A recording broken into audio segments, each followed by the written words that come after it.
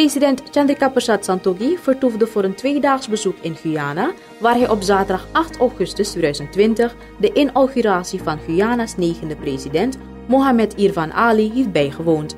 Het staatshoofd werd daarbij vergezeld door First Lady Melissa Santokhi Sinacheri en minister Albert Ramdien van Buitenlandse Zaken, International Business en Internationale Samenwerking. Na terugkeer uit het Westerbuurland hield het staatshoofd een persconferentie.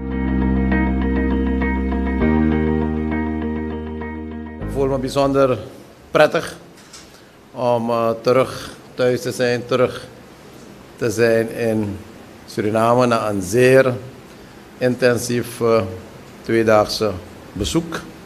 Wat uh, meer een, een ceremonieel bezoek zou moeten zijn in het kader van de inauguratie van de gekozen president in Guyana, Ifran Ali.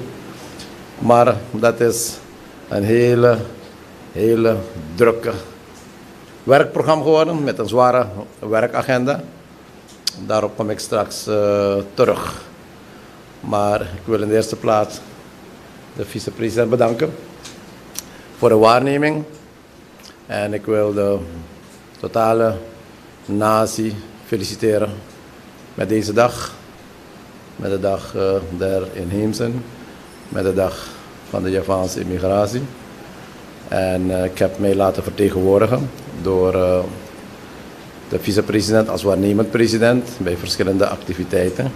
Als eerst wil ik u bedanken voor de vertrouwen in mij gesteld om de waarneming uh, als waarnemend president van de Republiek Suriname te mogen zijn. Heel dank. Ik mag u rapporteren dat de twee dagen alles in het land heel rustig is gegaan. We hebben vandaag de inheemse dag uh, vandaag nog. En namens de regering uh, heb ik u vertegenwoordigd daar. En de totale Surinaamse gemeenschap gefeliciteerd. Ook waar wij te Marienburg in verband met de 130 jaar Javaanse immigratie. Ook daar heb ik uh, u vertegenwoordigd. En ook een boodschap van uh, felicitatie uh, overgebracht aan de totaal Suriname, maar met name de Javaanse gemeenschap. En voor de rest is alles rustig gegaan. En ik heb daar net weer overgedragen. Alles is weer in uw handen. En ik ben blij. En ja, ik mag ook de totale Surinaamse gemeenschap dan zeggen, ook voor de vertrouwen dat alles is goed gegaan tot heden. Dit is wat we bedoelen als we constant benadrukken, deze coalitie is gebaseerd op basis van de principes van eenheid in leiderschap. Eenheid in bestuur en eenheid in beleid. En zo zullen we dat blijven exerceren. En deze eenheid zal moeten doorwerken naar alle werkorganen van de regering, zal moeten doorwerken naar alle segmenten van onze samenleving. Dames en heren, Zoals uh, net uh, aangegeven, we hebben een tweedaags bezoek gehad. Een delegatie onder leiding van de president, de first lady en de minister van Buitenlandse Zaken. Het was een geweldig bezoek. We zijn gegaan op basis van een uitnodiging om de inauguratie uh, bij te wonen. En we zijn bijzonder uh, met veel ceremonie en veel respect uh, ontvangen, met enorm veel gastvrijheid. En wat bedoeld was als een bezoek om de inauguratie met heel wat ceremonieën bij te wonen van de net gekozen president Dr. Mohamed Irfan Ali, is een heel druk werkprogramma geworden. Natuurlijk heb ik de president van Guyana gefeliciteerd namens de regering en namens het volk van Suriname. En de belangstelling was enorm groot.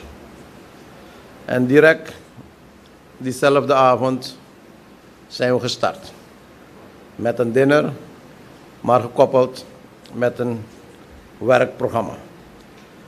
En bij deze bijeenkomst waren de president, de vicepresident en de premier van Guyana aanwezig met de hoge gasten van Guyana, van de president, de special envoy ook, van uh, Barbados.